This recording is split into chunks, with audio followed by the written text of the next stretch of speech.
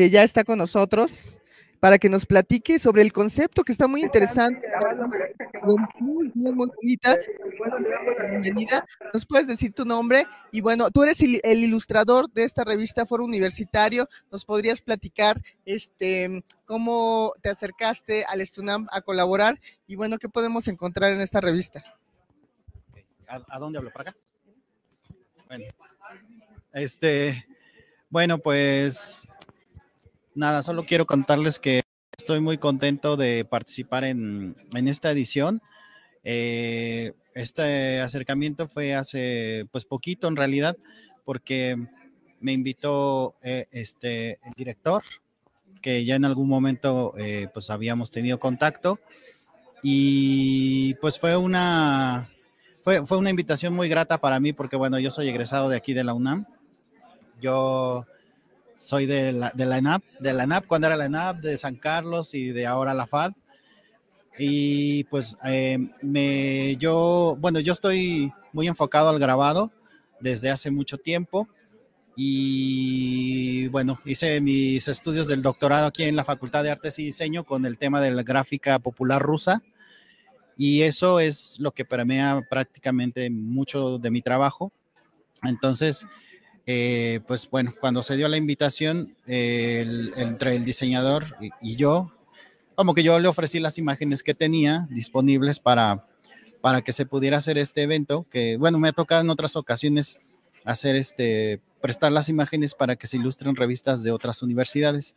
Entonces, eh, pues bueno, eso fue lo que se hizo. Se escogieron varias como de mi trabajo más reciente, el que está más enfocado como a la cultura pop, porque me ha tocado mucho, bueno, soy muy sensible al tema y me ha gustado siempre, yo soy muy, muy juguetón en ese sentido lúdico de, las artes.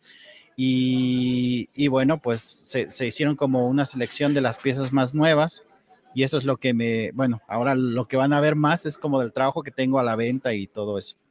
Entonces, este, eh, el, tema es el, grabado antiguo ruso, Lubok, que es la especialidad que yo tuve en el doctorado, en donde pues con ese estilo abordo varios temas que van desde la cultura popular hasta cosas muy específicas de Rusia y otras de México. Y bueno, yo les quiero presentar a Alejandro Barreto. Él eh, es doctor en artes y diseño, nació en Cuautla, Morelos, en 1980 joven, activo desde 1997 y bueno, su obra ha participado en más de 158 exposiciones colectivas de México, imagínense, y el extranjero, eh, países como Rusia, Estados Unidos, Alemania, Francia, España, Italia, Reino Unido, Rumania, Cuba y Egipto. Cuenta con varias exposiciones individuales entre, entre las que destacan Lubok Mexicano, en el Museo de Gráfica Popular de Moscú, Rusia, y bueno, eh, híjole, es eh, tremendo su semblanza. Este, la verdad es que nos da mucho gusto que, hayas colaborado con el sindicato y, también quisiera que nos platicaras sobre esta imagen de portada que está muy bonita. ¿Cuál? La del principito. Ah, sí. Este, pues es, es una cosa muy eh, que tiene que ver con la pandemia porque tanto esa como la contraportada es una pequeña serie de tres que hice sobre el tema de pues que se acabó la pandemia. Por eso está ese, está I Survived COVID, que fue el primero. Luego está otro, que también es el mismo personaje, pero diferente, que se llama El Santo Remedio. No sé si esa vendrá dentro de la revista. Y luego ya sigue. Ahí está, ahí está, ahí está. No, no, no. Esta es, esta, esta. esta es la número dos, se llama Santo Remedio.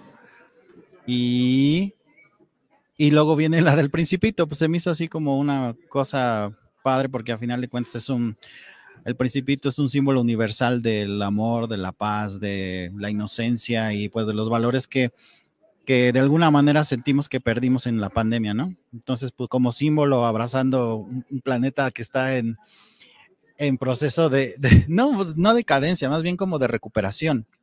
Entonces, pues por eso le puse My New World. Y la verdad es que le gusta mucho a la gente porque pues son como cosas que a la gente le mueven, ¿no? El Principito es un tema así icónico para cualquier ser humano, yo creo. Alejandro, eh, cuando ves un texto y como ilustrador, ¿cómo eliges las imágenes o cómo complementas estas imágenes que presentas en cada, en cada análisis y en cada contenido de esta revista. ¿Qué haces? Eh, eh, ¿cómo, ¿Cómo las eliges? Bueno, para empezar, eh, yo lo que podría decir es que, pues mi trabajo no es en realidad ilustrador, porque un ilustrador trabaja sobre un proyecto en específico para darle como esta identidad visual. Yo soy más bien grabador y las cosas que yo hago en realidad obedecen como más bien a mis propias intenciones y a los propios discursos.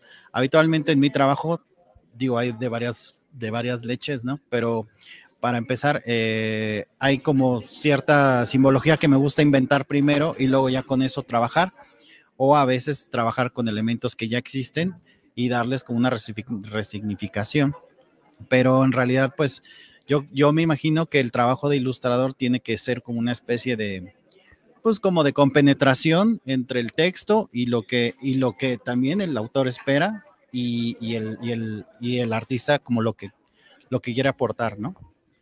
Alejandro, y pues ya para finalizar esta entrevista, porque ya va a comenzar la presentación de la revista, ¿qué importancia tienen las imágenes eh, para, bueno, para una revista, para, para el texto? O sea, eh, indudablemente tú tomas una revista y si no hay ilustraciones, pues como que no te llaman la atención, pero desde tu punto de vista, ¿cuál es la importancia de pues las ilustraciones en, en este tipo de, de, de medios de comunicación? Pues para mí es algo que creo que a final de cuentas le da una identidad a la revista, ¿no?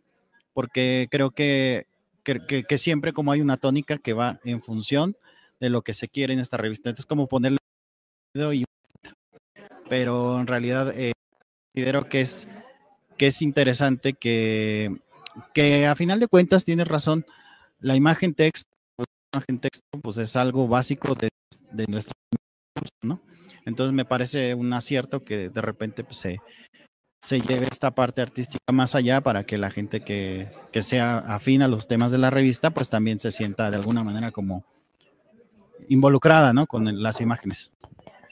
Pues muchas gracias, Alejandro. Te invitamos a que pases allá al podio. Muchas gracias por esta entrevista y pues quédense con nosotros porque ya va a comenzar la presentación de la revista Foro Universitario. Hoy es miércoles 3 de mayo de 2023 y pues ya estamos listos.